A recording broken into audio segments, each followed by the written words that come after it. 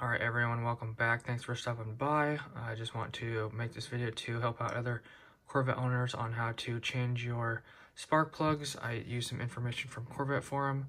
Also took some information from a C6 tutorial on how to remove uh, spark plugs and uh, also combine that with how to also looked up how to remove the fuse box and so I will also be going over that. All three in one so I just combine everything for you guys and hopefully make this as easy as possible. This video might be kind of random and all over the place but if you just watch it through it'll make sense hopefully and uh, I'll cover everything. So uh, hopefully this helps. Let's get started. All right everyone. So this is how you change your spark plugs in a uh, C7 2014 to 2019 um, model year.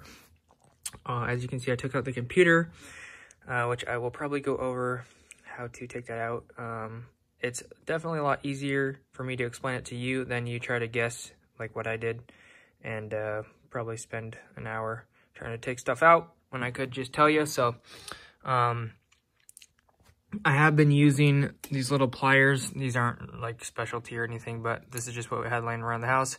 So I've just been using these to grip the uh, metal uh, part of the spark plug uh, fuse wire or wire. Um, so anyways, I've been using those to pull that out. It's been really helping me um, because if you're trying to just pull on these, there some of them are extremely hard. The other side is took me like I don't know two or three hours, and I've only been over here like 30 minutes so far, or 20 minutes, and I've already gotten three done. I'm on the last one. I already got it loose.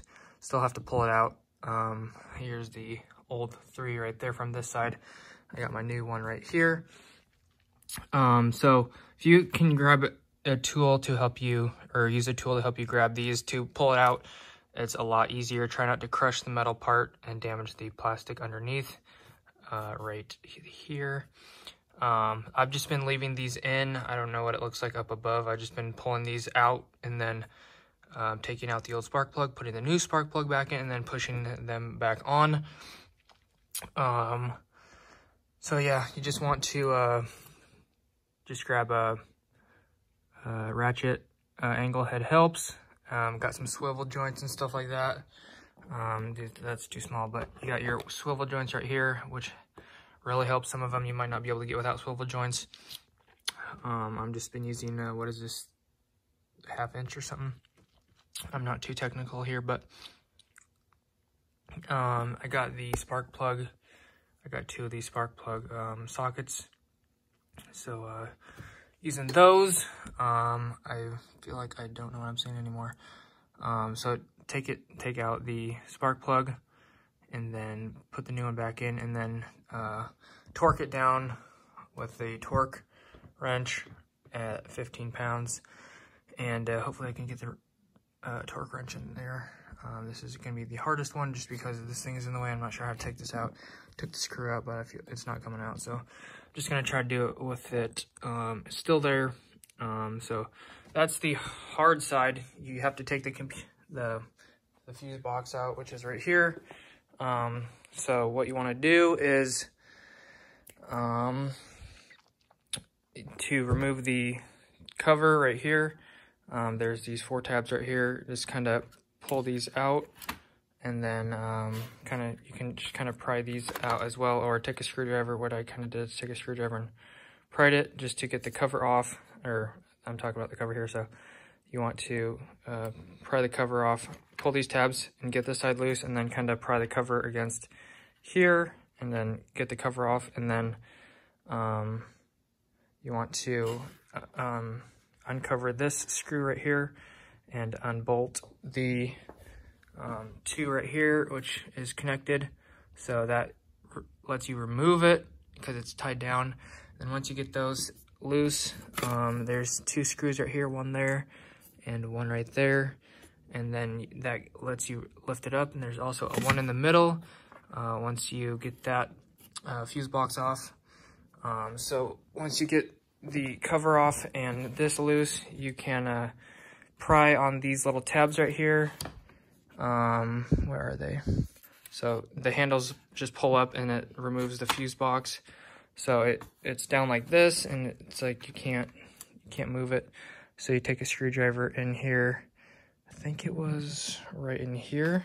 Basically just pry these little pieces back and then the handles lift up and then this whole thing just comes right out. And then once you get onto the bottom tray, which is right here, the one screw is in the middle. You want to take that out. And then to take the uh, little computer things out right here, um, I started taking the whole thing apart, which is what you don't want to do. It stays together in one piece. You basically just uh, pry it in the middle and then the whole thing just slides out each direction. So these three go this way, these two go that way, which I just remembered that I saw earlier, but I forgot about that. So you just basically put your screwdriver in these cracks right here, push it this way, push it this way, this way, this way, and that way. And then this whole thing comes out, and then you got all this free space, and it's amazing. So anyways, um, so that's kind of the gist of that side. And then uh, you're gonna wanna kind of just unclip this right here. Uh, there's a little clip right here and then a clip right here. And then that whole computer comes out. And then on the other side, I hate these damn things. Who does this? Um, on the other side, it's a lot harder because I didn't take anything out. The first one is super easy. Second one, uh, a little bit harder. Uh, harder, and then surprisingly, the fourth one was easier to get to. But I just used the pliers, grabbed it, pulled them out, and then you hear a little clicking noise when you put it back in. Um, so that's mainly the gist of it. So I didn't take anything off of this side, and then the other side, taking the computer off, or whatever you want to call it, the fuse box. So hopefully this helps you out. Um, and uh, yeah, that's all I got for you guys. And uh, thanks for watching. I hope this greatly helps you out. Uh, you some hours and some hassle. Kind of get a little dirty and beat up on your hands. Um, got some skin missing around here and all puffed up right on the this knuckle right here or right on that muscle right there. But anyways, hopefully this helped you out and uh, happy Corvetting out there. And uh, if you, this helped you out, give it a like, subscribe, and I will see you guys back here in the next one. God bless. Have an awesome rest of your day. Peace out. Also, I forgot to mention to disconnect the battery. It says so in the little covers and stuff. So to do that, you just remove this piece of carpet right here, flap that up, and then uh, kind of just lift this off or pull the whole thing off and then disconnect the, uh, I just went with this screw right here. I started to take that one off, but I said screw it. So I screw it back on and then put this, pull this one off and then just set it on a rag so it's not touching anything. The neutral, or then the, whatever the black one is still connected and it was sparking a little bit when I was pulling it off, so don't be alarmed. Don't get your car on fire, but I don't think that'll happen. Um, so anyways, everything goes off. The You'll tell when the lights turn off. And uh, yep, that's it. So just reverse the order to put it back together and uh, all that other good stuff with the computer and stuff. Take pictures. Don't uh, forget what you did and how it was the way it was. But anyways, thanks for watching. Peace. And lastly, maybe leave your windows down or leave the trunk open because if you close it with the car and power off, you're going to be in trouble. And then you'll have to take your key out of your key fob and then open it up manually um, down here somewhere. So anyways, just uh, leave the windows open or the trunk crack so you don't have trouble getting back into your car. All right, that should do it. Peace. All right, so I got everything back together here. Um, like I was saying. So to crack this, um, you just push on these tabs right here, and then the handle lifts up, um, just like that. I barely did it, but um, that's how you get that up and lift it up. But I'm gonna go ahead and start the car back up now that I got everything going and open the door just in case um, something goes wrong so I can turn it off real quick. I'm not sure what that noise is, but it doesn't sound good.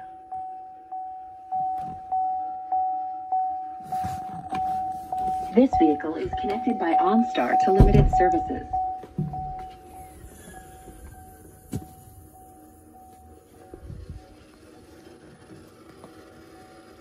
I'm not sure what the hell that noise is. Sounds like it's under the car and hopefully not the battery on catching on fire. Alright, so got it open. I don't know why this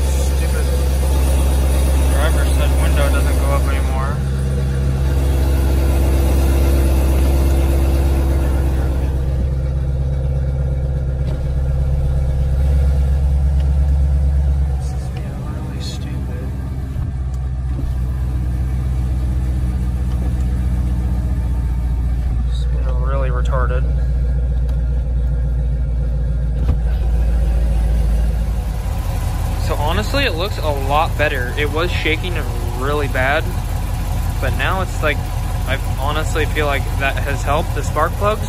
So I kind of want to go drive it right now, even though I haven't taken a shower and I got grease all over me, but it looks really promising and I hope this fixes my problem. All right, so I just got back from the test drive. It seemed a lot better. Idling and riding, I uh, have to go on the highway and test it out tomorrow um, or something because I'm excited to hopefully fix it. But still feels like the, uh, I guess when you let go off the throttle and kind of just coast it out, it feels like there's still a little bit of roughness, but a lot better. Um, but to get that last, um, to get that last spark plug out, I had to use all, or to torque it down, I had to use this ginormous um, extension with three swivels um, this is a socket swivel, but these two swivels um, in between in a different order, of course, with the torque wrench. But it was ridiculous, but I got it. One of the most proudest things I've ever done in my life. But that is the video, and hopefully this helped you guys out. Sorry, there's extra at the end of the video, but uh, we'll see what actually makes it into the video. But thanks for watching, and hopefully this helped. And uh, I was going to say something else, but I forgot.